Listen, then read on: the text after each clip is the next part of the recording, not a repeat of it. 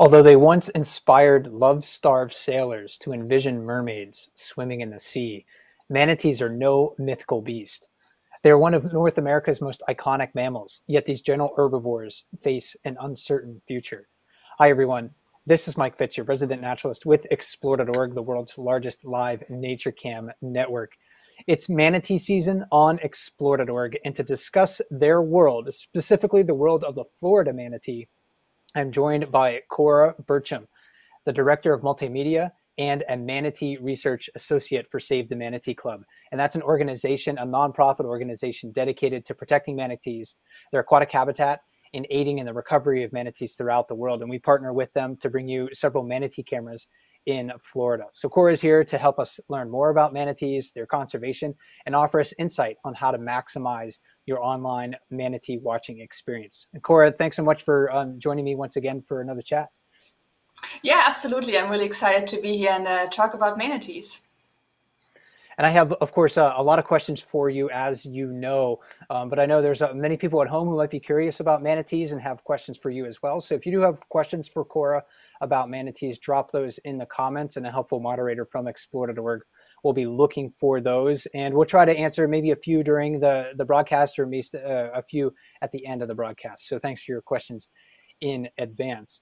Uh, Cora, you know, I have, maybe we should start with the basics about manatees. They're not an animal that uh, I guess people outside of uh, Florida or the um, Gulf Coast of um, you know the southeast United States often have an opportunity to see. So, can you uh, tell me what makes a manatee a manatee? Yeah, so manatees are these really unique creatures. Um, they're sort of the gentle giants of the sea. Um, they can get very large, average about 800 to 1200 pounds, and some can get much larger than that. And they're just kind of this cryptic animal. You know, they may be underneath you when you're kayaking or canoeing or something, and you wouldn't even really know that they're there. Um, so that's kind of what makes them so special. They have no natural predators, but are listed as a threatened species. So a very integral part here in Florida. A lot of people come to Florida to see these guys. So, uh, so yeah, that that's that's sort of what makes a manatee a manatee.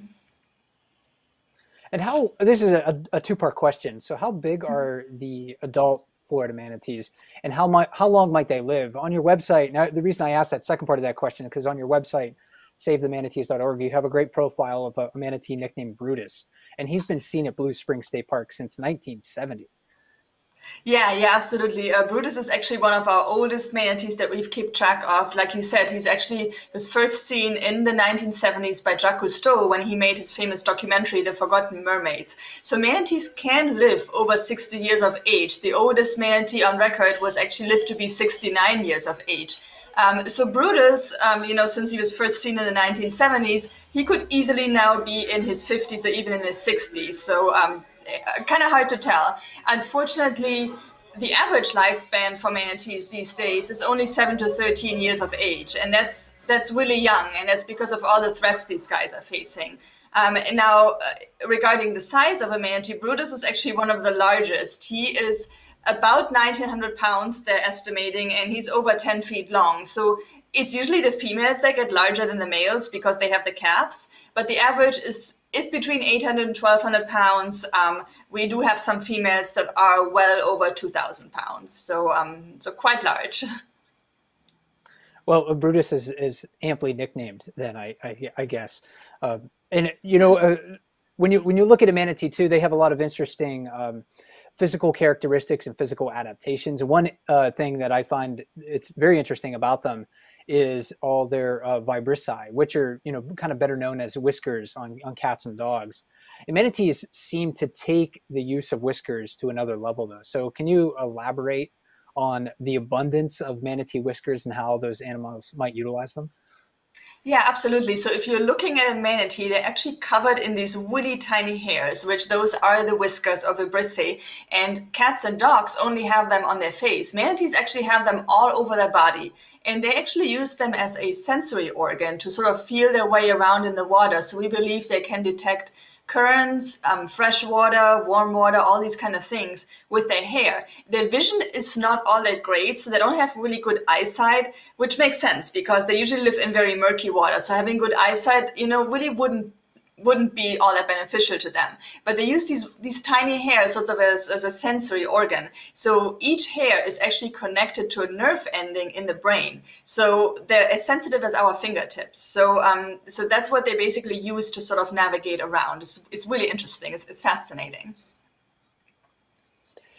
And when you look at the the uh, the body shape of a manatee, I mean, it just looks fat.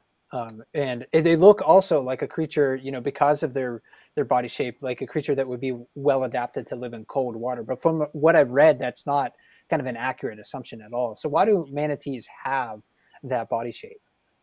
Yeah, it's really interesting. So manatees look like they're really, you know, fat and blubbery, but they actually only have about an inch of fat layer, which is it's very thin compared to other animals. You know, if you're looking at like a walrus or a seal or a sea lion or or something like that. So that's why manatees they they really cannot stay warm. So as as soon as the temperatures drop below 68 degrees Fahrenheit, about 22 Celsius, sorry, 20 Celsius, they have to migrate to these warm water sites, such as springs or the outflow of power plants.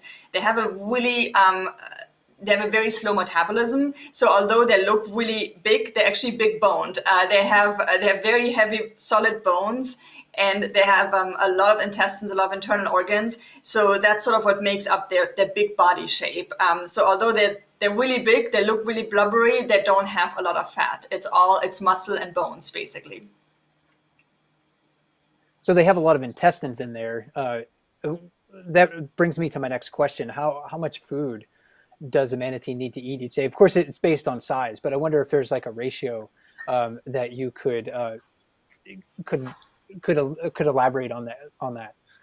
Yeah, yeah, absolutely. So manatees actually eat about, or they can eat between 10 and 15% of their body weight. So like I just said, if a manatee, you know, weighs about 1,000 to 1,500 pounds, they can easily eat about 100 or 150 pounds of vegetation every single day. Um, vegetation, like as I just said, they are vegetarians, so they only eat um, submerged aquatic vegetation as well as some floating vegetation. Here in the um, in the video right now, you're seeing manatees eating some lettuce. This is at, at um, Homosassa Springs uh, Wildlife State Park, where they have some permanent residents. Um, those manatees are not wild manatees, so they're actually uh, being fed by the park staff there. Um, however, in the winter time, when manatees migrate to these warm water sites, they sometimes forego feeding for um, for a couple of days or even a week or two to stay warm. So so they don't have to eat 150 pounds every single day, but that's what they can eat. And they they only eat vegetation, so they don't eat, you know, they don't hunt after fish or anything like that. It's all it's all greens. they're vegetarians. And that was actually was an audience question that just popped up as well. Somebody was wondering what do they eat. So oh. yeah, so just just veg- vegetarians. Um, and yeah, yeah, uh, they do eat submerged vegetation as well as um, floating vegetation. So some of the things that are floating on the water surface, like water hyacinth, um, small water lettuce, pennywort, those kind of things. So they don't just eat seagrasses, although that's a primary primary food source for them. They also eat some floating vegetation. I, and I've read that uh, a consequence of um, their lack of body fat, is, and of course a, a, slow metabolism that they have when um, is an increased risk for cold stress. So, uh, you know, we see in the wintertime, starting especially at this time of the year in Florida, manatees gathering around those warm water sites that you mentioned. So, how susceptible are manatees to hypothermia and cold water stress? And how do they cope um, when the water temperature drops down? Yeah, so manatees, since they cannot sustain water colder than 68 degrees for prolonged periods of time, they really have to migrate to these warm water sites. If they don't do that or they don't do that in time, um, like you, you just said, they can develop a condition called cold stress syndrome. So they get like these white lesions all over their body, usually first on their face and on their flippers and their tail. Um, they get very lethargic, they become very thin, and basically their whole their whole body, their whole metabolism shuts down. They're trying to conserve that inner core heat. Um, and basically they, they stop feeding um, so, so they can get really sick. Um, every every winter in florida we have manatees that die from cold stress syndrome or have to be rescued and then rehab for cold stress syndrome. So it's sort of a, a condition that we compare to sort of a mix between pneumonia hypothermia and frostbite. Um, and that's the issue that they face if they don't find these warm water sources in time. That's why right now um, it's getting a little colder here in florida and you can actually find these manatees in the hundreds at these warm water sites. And um, that's where they go. You know, they come from the coast, they come from the surrounding rivers, and they migrate to these to these warm water sites, which can be a spring or um, a outflow of a power plant. And it, it often seems like manatees are, are forced to choose. Um, and you touched on this just a little bit ago between food uh, finding food and, and warmth in the wintertime. So how do they, I'm, I'm wondering how they, they manage that balancing act. Um, you know, both of, both things can occur at the same time. Maybe they don't, they're going to a place that doesn't have a lot of food, but they need to stay warm. So I'm wondering how they're coping with that. Yeah, that's a really good question. That's a question, that's a thing we're facing right now. So usually, like I said, they cannot sustain water below 68 degrees for prolonged periods of time. However, they can go out for shorter periods of time, go feed, and then come back to the warm water side. Now, if there's food nearby, usually there is some food nearby those warm water sites. However, what we're seeing this year, primarily in the Indian River Lagoon here in Florida and on the Atlantic coast, is that a lot of the food sources are depleted. So manatees have to migrate out much further to find food, and that's something they cannot do during cold weather. Um, so that's when it really comes to the point where they have to choose: Do I stay warm here at the power plant and conserve energy, or do I make that feeding trip, which can be you know hours away and potentially die of cold stress because I'm not finding food nearby. And that, that's a really big issue. Luckily, um, for manatees, for example, at Blue Spring, there is enough forage around in the St. Johns River that, so they can just go out for a couple of hours, come feed, and come back. So, um, so that's what they can do. Or then if it warms up for like a week or two, they may go out and feed and, you know, and then, then return to the spring when it gets cooler again. So cold is certainly, uh, I think, one of those natural risks that manatees um, have have dealt with. That you know, ever since their their species probably evolved. Uh, but let's take a moment to talk about some of the other risks that Florida manatees face in their everyday lives, especially those um, that people have brought into their existence. Um, the population of Florida manatees um, grew from, uh, according to some of the stats that I read, from about a thousand individuals in the early 1990s to about six to seven thousand in 2020, and that it seems like an encouraging trend. Uh, but it seems like there's also many reasons to remain concerned about the fate of manatees. So, what are the perpetual threats to manatee recovery and survival? Yeah, yeah, that's a great question, especially because you just mentioned the numbers. The numbers have definitely gone up. I mean, I think that's something that you know no one is trying to debate that there are more manatees now than there were back in the 1970s or early 80s. However, manatees were actually placed on the endangered species list because of all the threats that they were facing. That was not because of the low numbers, but it was because of all the issues they were facing. And although they have no natural predators, they do face quite a few issues out in the wild. Um, primarily, sort of the number one um, issue for them human related issue is collision with watercraft. Like we said earlier, they're moving very slowly, about three to five miles an hour. So a fast speeding boat is just no match for a slow moving manatee. So a lot of manatees, unfortunately, do get hit by those boats. Um, we do see most living animals have scars on them from those collisions. So that's the number one issue for manatees all around Florida.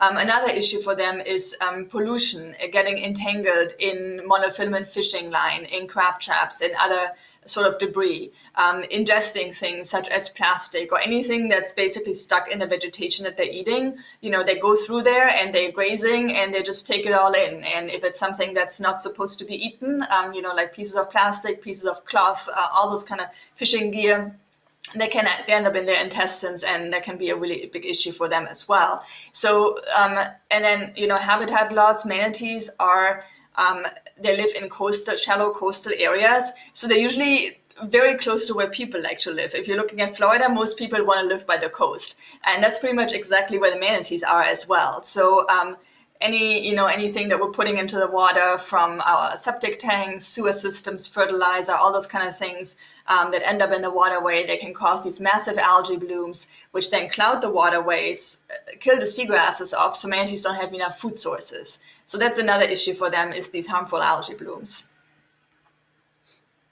And you mentioned um, uh, entanglements as one of the, the main threats to manatees, among other things. And I think we'll try to dig down into some of these some of these threats um, a bit more specifically with the, the next few questions that I have. Um, but there, with entanglements specifically, um, you know, I think uh, there's a, a, couple of, of manatees that might be able to help um, illustrate the stories and, and some of the hardships that they face uh, through that. Um, so can you introduce us to Una and Schwinn and how their lives have been impacted by, by debris and entanglements? Yes, absolutely. So both Una and Schwinn actually manatees at Blue Spring State Park. So Una was very severely entangled in monofilament fishing line. We actually had to rescue her twice now for those entanglements. And you can see them here. That was really, it was wrapped around her flipper. So she was rescued twice and rehabilitated. And during the second, during her second stint uh, at rehabilitation, she actually lost part of the right flipper, um, sort of the lower part of it, which manatees can survive with just one flipper out in the wild. Um, you know, that that's possible. Um, unfortunately, female manatees, they nurse their calves from little mammary glands that are located behind those flippers. So oftentimes if the mother gets entangled, in the fishing line that can actually affect the nursing calf. So the last time we had to rescue Una, she did have a dependent calf with her. And we were seeing that the calf was having will issues nursing because her flipper was so infected.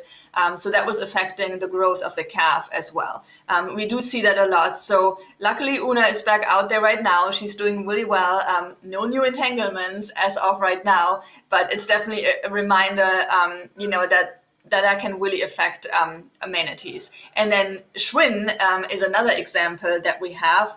Um, Schwinn was actually a manatee also at Blue Spring who was entrapped in a bicycle tire. Um, you wouldn't think that a manatee would be able to fit itself into a tire.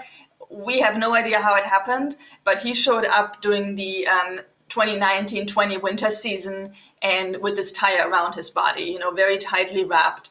Um, we made, we along with our many, many partners of the Manatee Rescue and Rehabilitation Partnership, made many, many efforts to try to capture Schwinn and remove that tire. Unfortunately, he became more wary of us the more we tried to help him, and we were unable to catch him. So luckily, this past year, he returned to Blue Spring without the tire. We don't know exactly how the tire came off. We do have a suspicion. Um, he did get hit by a boat towards the end of the previous winter season, and it sort of like nicked the tire a little bit. So it could have potentially weakened the tire to the point where when Schwinn was growing and the tire wasn't, the tire sort of popped off. So along with our partners, we monitored him very, very closely because we had no idea if he had some sort of internal you know, injuries, um, any infection um, resulting from that wound around him. So luckily, he's doing extremely well. Um, he returned to Blue Spring this season, so we're keeping a close eye on him to make sure he's doing well. But luckily, so far so good. Um, it's just another reminder. You know, anytime you see you see trash in the environment, no matter what it is, um, even if you didn't put it there, you know, please pick it up, please recycle it, put it, I mean, it can, you know, manatees can get entrapped in pretty much anything. They're super curious animals. Like I said, they have these tiny hairs, these vibrissae that they use to feel around in the waterway. They like to check things out. Um, not with their eyes. They like to check them out with their flippers and their snouts and everything else. And if they can squeeze themselves into something, they will certainly try to do that. Um, so try to, you know, remove as much of that stuff out of the environment so they cannot get entrapped or entangled in that. And Schwinn, I guess he had a really close call with uh, with a motorboat, um, but that's that's very common. It seems like, and, and a lot of the the the uh, the encounters between manatees and motorboats aren't close calls; they're actually like boat strikes. Um, so, yes. can you maybe just talk a little bit more about motorboats and how they're dangerous to um, to manatees, and um, and and talk about about um, I think a couple of manatees that we had um, in our, in our queue here, Gator and Leslie, and, and their ability to sort of like persevere through injuries that um, that were caused by motorboats. Absolutely. So, I mean, almost every single Florida manatee has some scars on them from encounters with motorboats, meaning they have literally been about an inch or two from losing their lives. And those scars um, on their bodies show that. Um, this is Gator here. He was um, he was actually named after he was seen chasing an alligator or turtle um, across the spring run. And these are the scars that um, allow us as researchers to identify him year after year, which is really sad that that's what we're using to identify these guys. Um, it's obviously helpful for the research, but I wish we had something else to identify them other than their their very severe boat strikes.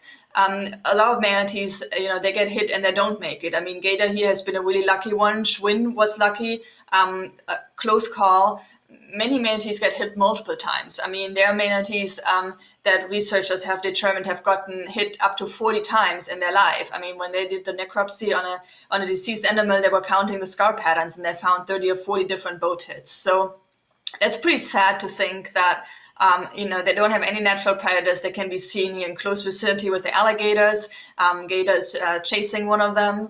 Um, that's how he got his name. Um, and you know, and these boats, it, it's it's really the problem is manatees are very slow moving and they're really difficult to see if you're not in a clear spring water. And um, the best thing boaters can really do is to go slow, um, watch out for these guys, and then if you do accidentally hit one, report it so that there is a chance that those manatees can be helped. Um, now, Leslie is another example. She is also a blue spring manatee, uh, had a very severe boat strike, and she was rescued along with our partners. We rescued her in um, 2018 she was in rehabilitation for three years which that's really that's a very very long time. Um, and there were really times when they thought that there was she was not going to make it. I mean they did a lot of experimental surgeries on her gave her another chance. We uh, released her back out into the wild earlier this year, and she returned a couple of weeks ago. And we even think that she's pregnant, which that's amazing. I mean, she was just released in January and um, is apparently already doing really well and able to contribute back to the wild population. So obviously, that's always what the rescuers hope for. Um, you know that you return an animal to the wild and it can make an impact and um, and be able to you know survive. But that kind of wound that she had and those internal infections, they were very difficult to treat. So um, big kudos to those people who treated her for three long years. Um, that was not an easy task, and we're really happy to to see her back, and she's doing really well now. Absolutely, yeah. Go Leslie. I am. Uh, I'm. I'm going to be curious this winter to watch the webcams and see if if I can spot her. Hopefully, she'll come back in the future with a, a calf of her own. Um, you know, those are of course uh, some some very serious threats to manatees, but um, the challenges they face seem to be continuing to mount. Uh, in fact, uh, 2021 has been a particularly difficult year for Florida manatees. Um, current counts, um, more than 1,000 have died already, and it's about one in seven um, Florida manat- manatees. Um, so we have like boating and, and entanglements and the other um, some of the other things that you've mentioned that are risks uh, to them. But we also had um, you know a viewer ask a question about. Um, who, who wrote uh, Cora mentioned the depletion of, of the food sources for manatees in the wild and what is causing this and you know that's something kind of related to this um, I from what I read, this um, this unusual mortality event that happened with um, a couple different groups of Florida manatees um, uh, this year. Yeah, yeah, absolutely. So, unfortunately, like you said, this year we have lost over a thousand manatees, which that's a record that we we never hoped to see. The previous record had been 830 manatees, and that was already really high. You know, if you're looking at having 6,000 manatees, that seems like a really big number. Now, if you're losing thousand manatees a year, that number is suddenly not all that big anymore, especially because they're really slowly reproducing animals, so they cannot make up for a big loss really quickly.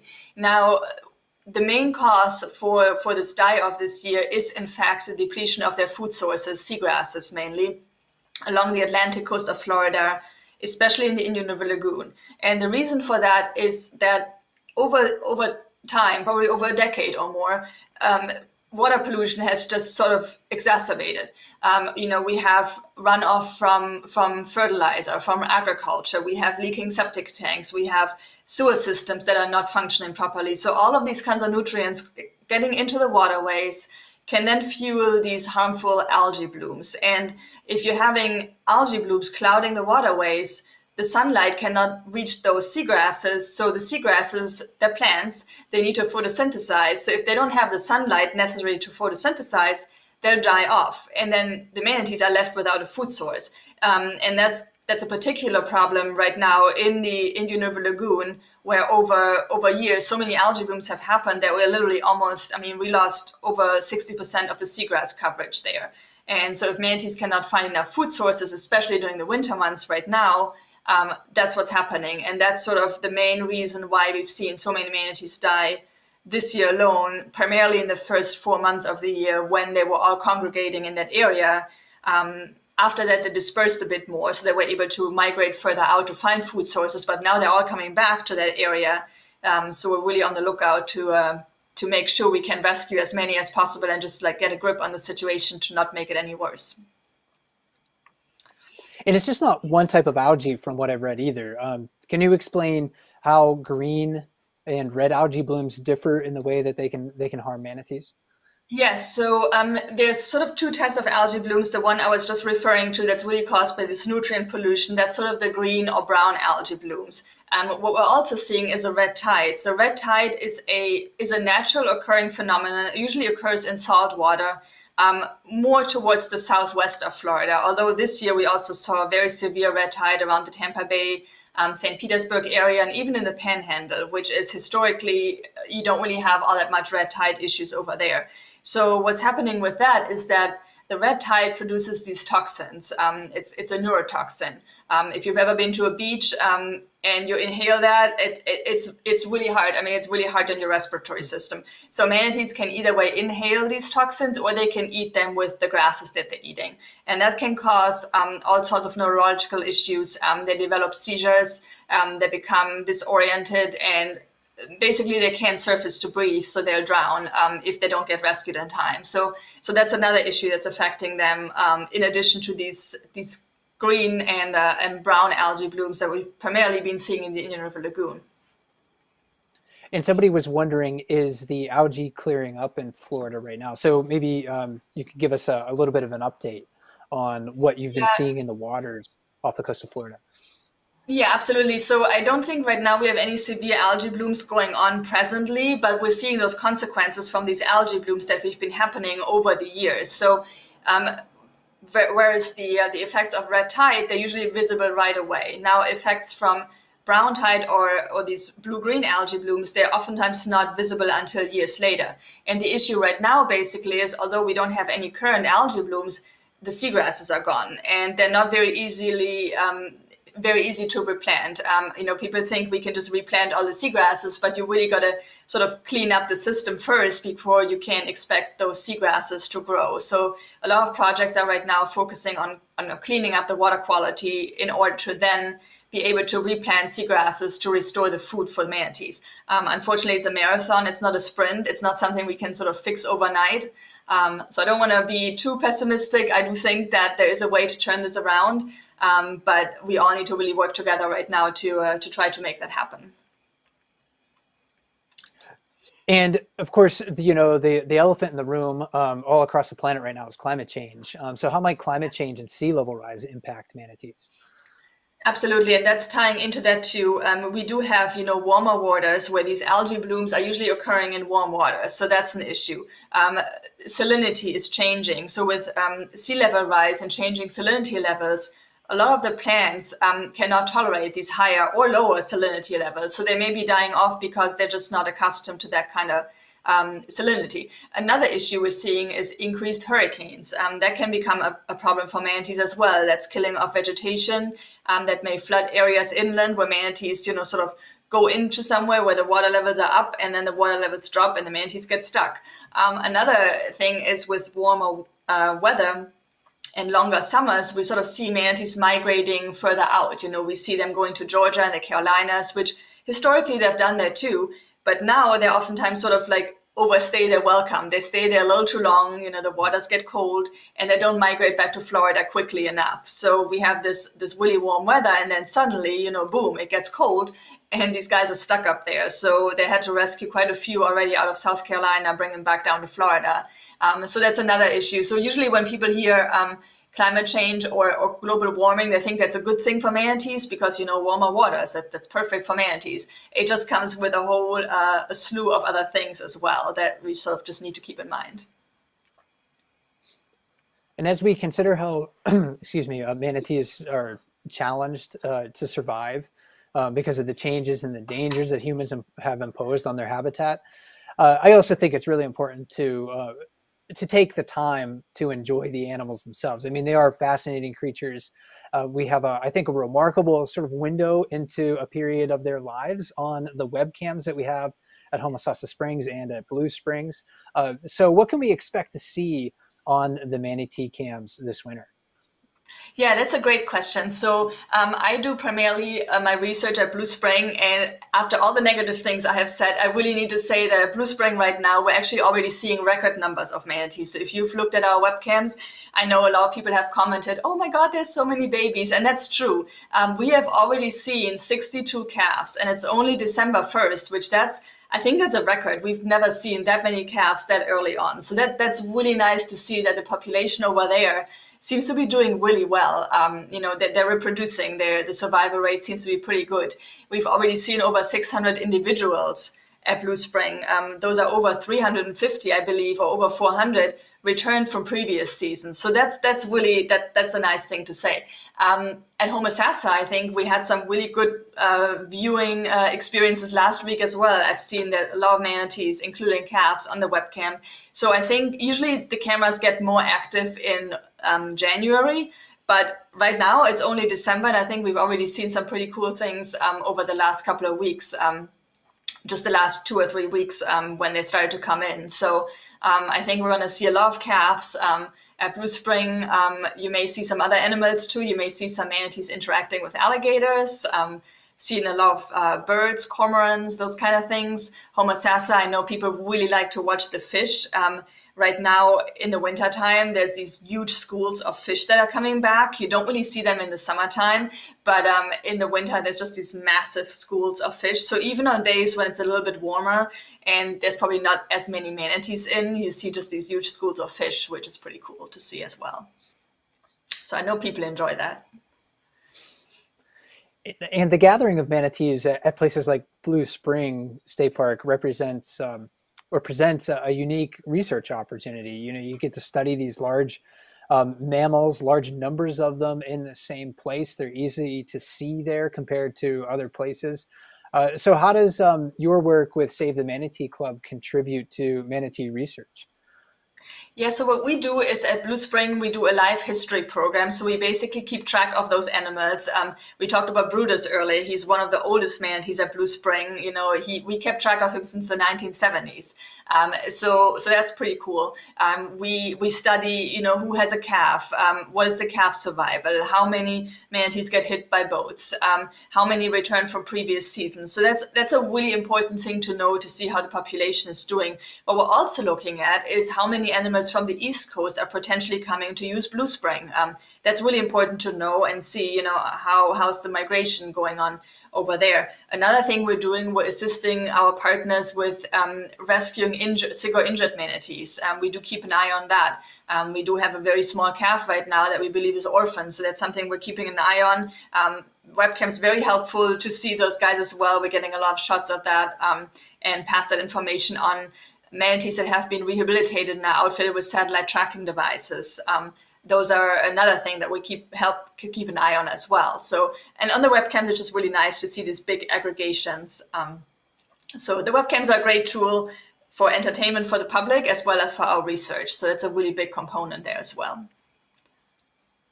And um, in some of our previous conversations, you've mentioned um, manatees nicknamed Annie and Lily, um, and how they might uh, serve as examples, good examples of what you can learn um, through some of like your genealogy research and the other studies that you do at Blue Springs. So, what do, what do Annie and Lily tell us about wild manatees?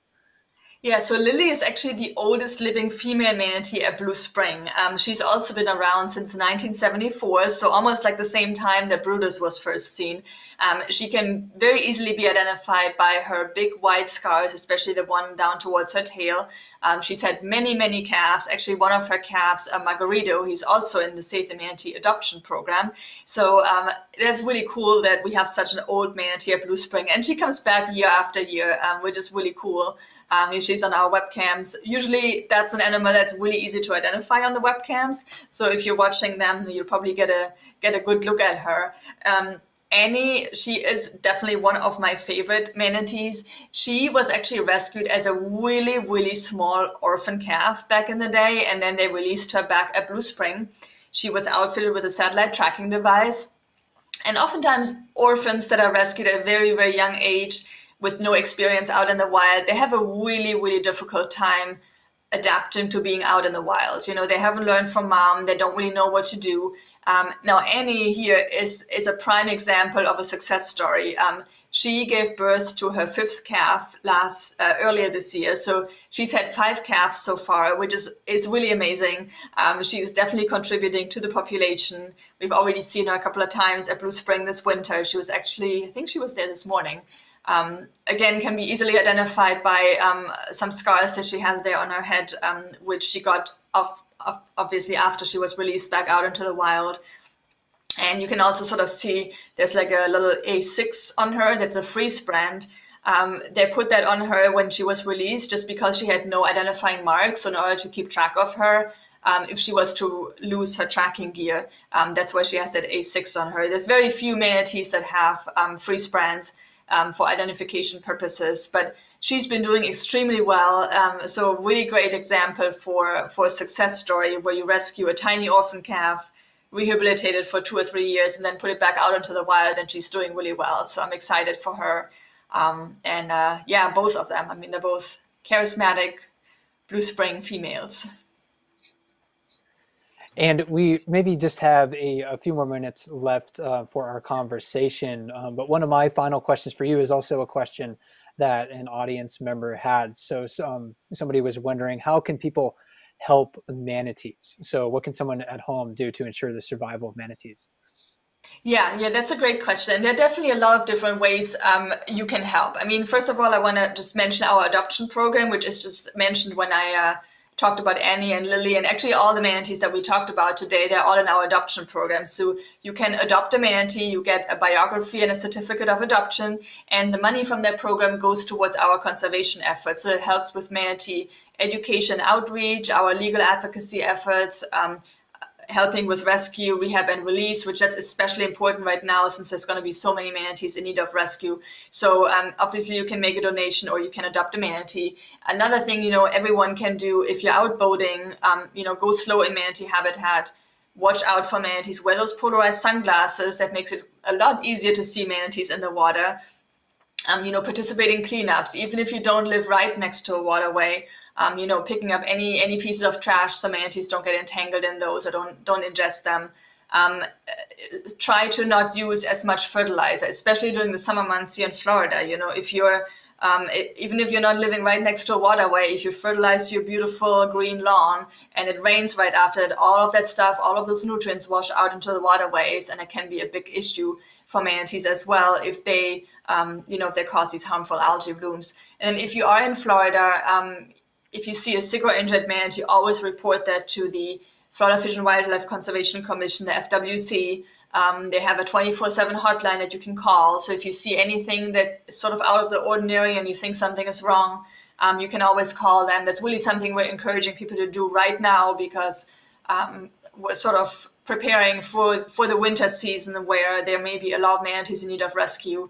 And um, it's usually the public. It's oftentimes the boaters actually who call these manatees in. You know, they, they see them, they're out there, they they're actually looking out for them. So it, it's definitely not um, save the manatee or manatees against the boaters. It's a lot of people from the boating community who actually help us. So um, so that that's a big thing as well. And then you know, educating others. If you're coming to Florida and um, or you know someone who's coming here and you know educate them about what you've learned about manatees and there's a lot of resources on our website too that you can you can take a look at or order some signs and brochures and all those kind of things as well. Plenty to do um, and i i do have maybe one question that i'm, I'm curious about um, and i may have read this but i may have forgotten um, uh, but this is an audience question as well. How long will calves stay with their mother? You mentioned Annie, and that she's had five calves already, but how long um, in between sort of uh, reproductive events? Yeah, usually calves stay with mom for about one to two years. Um, during that time, they will nurse and they will also start eating vegetation a couple of weeks after birth. And then after about a year or two, they usually get weaned. Um, here, Blue Spring, um, surprisingly, we do see um, calves being weaned after about 10 months to a year, and then the females actually reproduce about every two years. In other parts of Florida, it's more every two to five years. Um, the pregnancy, the gestation is um, 13 months, so about a year. Um, so it takes them quite a while to reproduce. Um, and usually it's one calf at a time. Um, we do see twins, but it's pretty rare. It's usually just one, one calf. And my final question for you is: uh, Is there a, an individual manatee uh, with a story that that resonates particularly strongly with you? That is such a tough question. And I think we've almost addressed those manatees. I mean, Annie is definitely one of my favorites. And I think one of the reasons is that she, um, when she gave birth to her second calf, um, I was actually the first person who ever saw that calf. She gave birth to it overnight from a Friday to Saturday. And I was there Saturday morning at, at seven o'clock and there was the little calf. And it was just so very special. Um, I think it's just a memory that I will personally never forget. Um, seeing these tiny little calves. I mean, I personally think manatee babies are just the cutest creatures at all. I mean, of all of them. Um, so just like seeing that was just it's, it's, just so amazing, and then seeing them growing up. So and just sort of the resilience that these animals show. I mean, in animals like Leslie and Una. Um, getting hit so severely you know getting so injured and and still being able to somehow survive um, you know somehow still give birth to their calves and still care for them um, it, it's sort of a wake up call because you know we oftentimes complain if we cut ourselves on like a piece of paper or if you have like a slight headache or something. And these animals the kind of stuff that they endure and oftentimes they don't even get you know painkillers or antibiotics or anything and they still pull through and they have the calves and take care of those calves. Um, that to me is just so amazing. So i think picking one is it's really difficult but i think i always say annie is sort of my my favorite one. She sounds like a, a great choice. And um, yeah, it's it's been a great conversation. I've I've enjoyed it. Um, a lot to think about, especially. Uh, you know, I was w- watching an interview with um, Patrick Rose, who's the Save the Manatee Club's executive director, uh, from earlier this year, um, and he said, and I'm paraphrasing, but he said something like, "If Florida manatees can't survive due to habitat loss and water pollution, the things that we've talked about, then Florida will certainly be a much less habitable place for people." So, helping manatees also helps people, and I think every all the information that you shared today, Cora, helps to illustrate um, that that point. So thanks so much for joining me today. It was a great conversation. Yeah, absolutely. Thank you so much for having me, and I hope everyone enjoyed learning something about manatees. So thank you. My guest today was Cora Bercham from the Save the Manatee Club. If you want to watch our manatee cams, there's a couple different options to do that. You can go to explore.org, of course. You can also go to manatv.org. That's M A N A tv.org. And if you want to learn about manatees, maybe the first place you should go is savethemanatee.org. They have uh, just a, a, wealth of information on there. So it's a great website to check out to learn more about these incredible creatures. And my name is Mike Fitz with Explore.org. Thanks for watching today and have a great evening.